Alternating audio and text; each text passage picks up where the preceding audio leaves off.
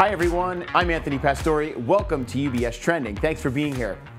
So, OPEC recently announced it would be cutting production of oil by 2 million barrels per day.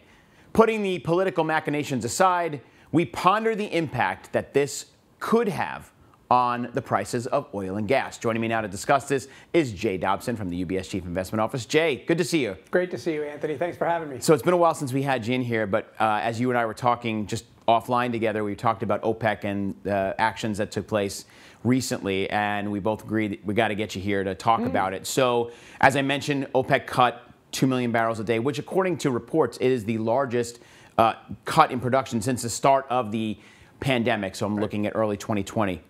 What are your thoughts here? What happened, and where did this decision come from? Yeah, so let's unpack it a little bit. So as you said, uh, OPEC in early October decided they were going to cut production by 2 million barrels. So it's really 1 million barrels, and you say might say, well, how is 2 really 1? There's a number of members that can't produce their quota. So when you say you're going to cut by 2 million barrels, some, produce, some countries are already producing at that lower level. So it really means a 1 million barrel per day cut. Mm. Uh, so in round terms, call it 1% of, of demand or, or supply, be a little bit higher than that.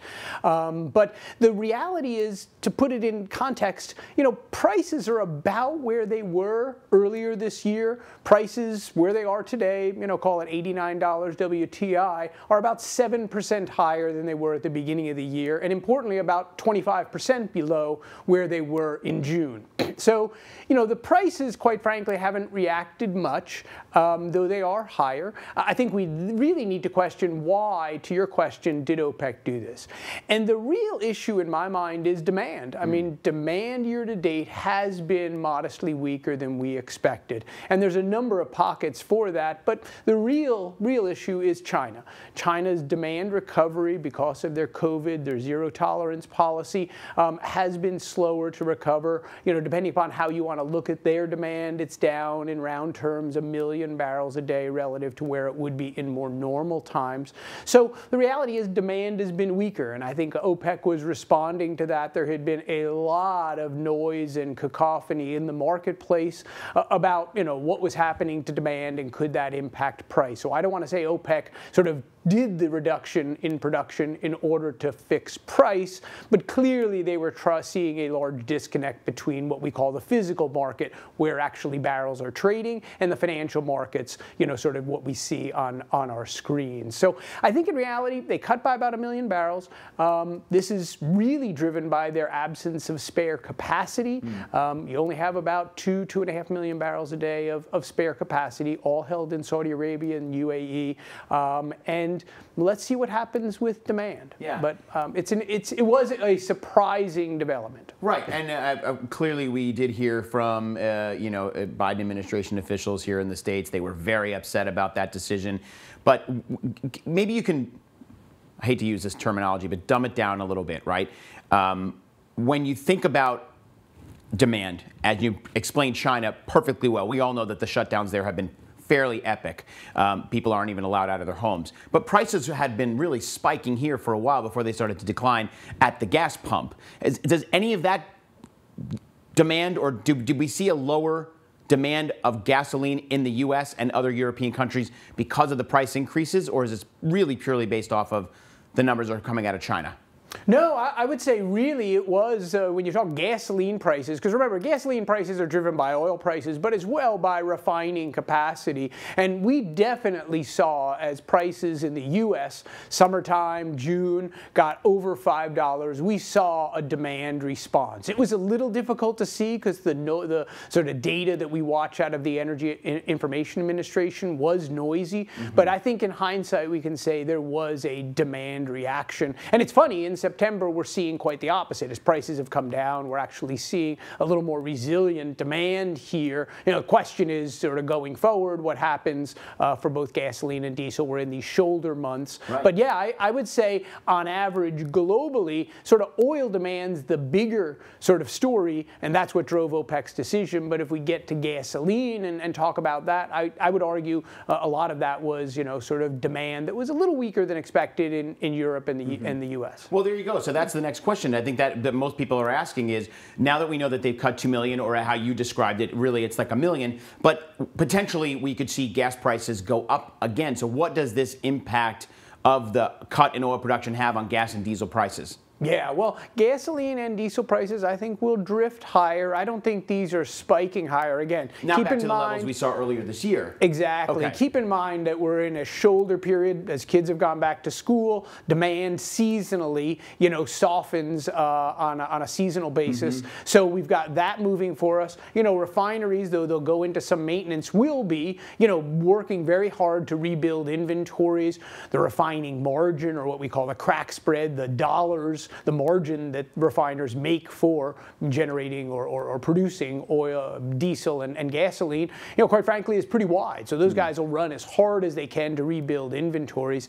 You know, the real story here is diesel. Diesel hasn't come down as much as gasoline has, and diesel, quite frankly, whether you're talking about a farmer's tractor to a tractor trailer we see on the highways moving goods around the U.S., you know, that really is the workhorse fuel of the U.S., and it hasn't come down as mm. much, uh, and hopefully building inventories, uh, that's going to be an important input. But I, I don't expect the oil price uh, to rise a lot, uh, certainly in the very, very near term. Certainly as we go into 2023, we do anticipate, and hopefully we'll get to talk a little bit about things like the you know uh, EU's oil embargo and some of the other elements on the horizon that could right. have a bigger impact on oil prices than, quite frankly, the OPEC decision. But in the very near term, between now and say the election, I'd say you know sort of oil, gasoline, and diesel prices sort of drift higher. Yeah, and we pulled up. We had an oil chart up there, crude oil, WTI crude, and, and, and you know it's it's certainly gone up and down, but it's it, you know trend line worthy. It is pretty flat when you think about where we ended up versus a year ago. We're almost at the same levels that we started. So it's not like it's it's really continually gone up. We did see it decline again a few months back. Yeah, we're pulling. Well, there's the that's that's crude oil right on the screen there.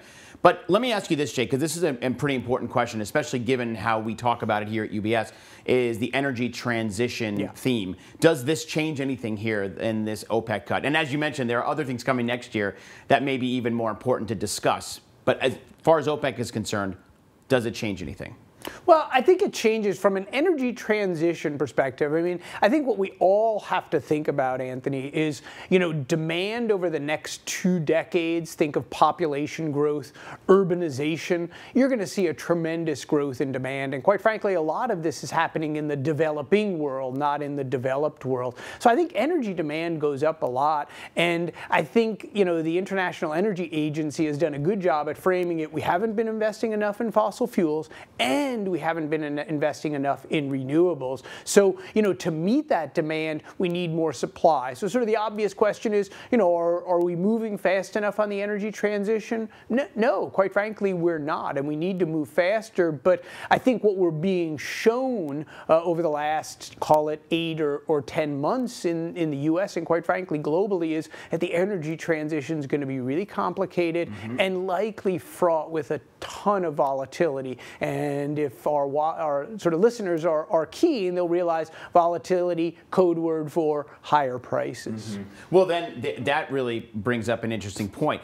As far as the investing side of the story, is it a good time to be owning energy equities given, uh, you know, as a hedge to energy prices and what the future of that could look like? Yes. The, the single answer I'd say is yes. So from a policy perspective, we're overweight uh, U.S. energy equities. Um, but I'd say from, from a hedge perspective, you know, we all go to the gasoline pump and we pay higher prices and we slap our foreheads and complain about it. Um, the reality is we should own energy equities because since we're paying more there, you know, likely the companies are going to be making more money. Um, you know, these stocks, as you can see on the screen, have done reasonably well mm -hmm. year to date. They're the best performing sector in the S&P 500, but we think there's still a long way to go. Valuations are attractive. We have a constructive outlook on crude oil prices for next year, and perhaps most importantly that I don't think gets talked about enough is what we call capital discipline. These companies aren't taking the money and reinvesting tons of it back in their business. They're investing some, let's call it 20,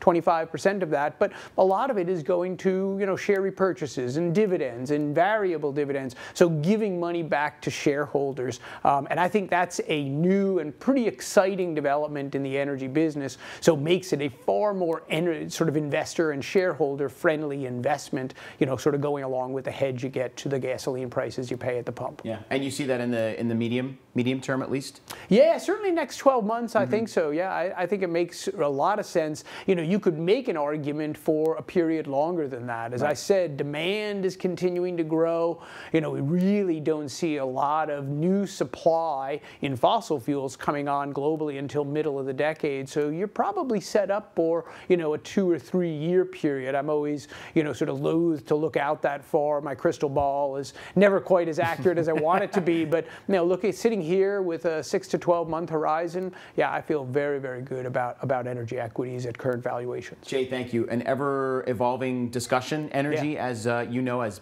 being an energy analyst for your career. Um, but uh, I also want to get you back to have a further discussion on energy transition yeah. because it is a really complicated topic, and it's not just about switching everything to climate-friendly initiatives. There's ways that these all these companies have to work together, where you have to use fossil fuels and you have to engage. And now you've talked about that with us in the past, but I think it begs uh, time begs to have that conversation again. So we'll get I you back. Completely agree because yeah. fossil fuels are an important part of the transition. Right. They're not the end game, but um, you, you, you need to have them a part absolutely yeah. of a diversified equity portfolio. Or uh, you'll be disappointed. Perfect. Jay, thanks very much. Always good to see you. Thanks, Anthony. Good. Jay Dobson from the Chief Investment Office. And for more information, please visit our website at ubs.com forward slash views, and you can follow us on social media. UBS has content on all the platforms, including LinkedIn, Facebook, Instagram, and Twitter. Plus, you can find all of our past UBS trending episodes on demand. And if you have any questions about your portfolio,